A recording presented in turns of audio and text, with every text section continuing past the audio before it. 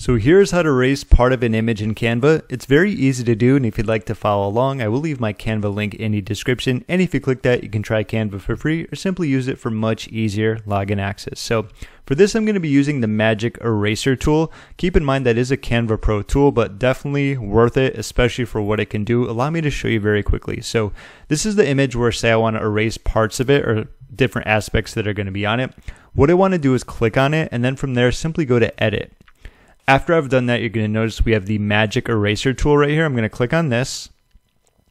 And this is going to allow us to either create a bigger brush, a smaller brush, or we can use the click version. I think this is fine. If you want to see how big the brush is, you can just kind of go over anything. So if you want to make it a little bit bigger, there we go. We're going to notice how it's expanding ever so slightly. I think about 40 is fine.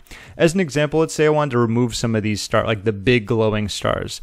I also want to give you one more note. You'll notice that when this comes over, it kind of hides a decent amount of the picture. So if there was anything ever on the left side there that you wanted to edit, just make it smaller. And now you can see that side, okay? Let me go back to around how it was.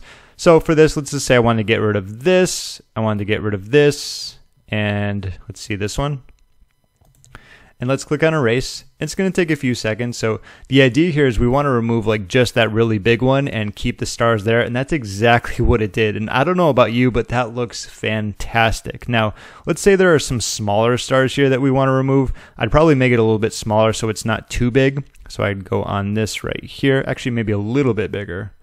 And what's so great about this is the attention to detail. Like there's a lot of other stars around it, which I think is cool. And it keeps them there. You know, it just gets rid of the bigger one. Or at least from what I can see. Maybe there aren't too many around it. But yeah, you can see all the smaller ones. Let's do one more example. So we have that starfish just hanging out in the bottom right. And unfortunately for you, Mr. Starfish, you got to go a little bit bigger. Sure. One click right here. Okay, and you notice there's some like shadow on it as well. It should, if it does its job correctly, remove that so it just looks like the sand is there.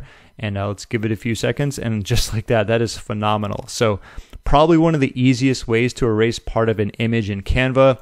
Uh, like I said, a very good pro feature, but highly recommended if you want to do something like this. Plus, the background remover is another great pro tool if you want to use the pro feature. But that's going to conclude this tutorial. If you got any value out of this, be sure to give it a thumbs up as it helps me out a ton.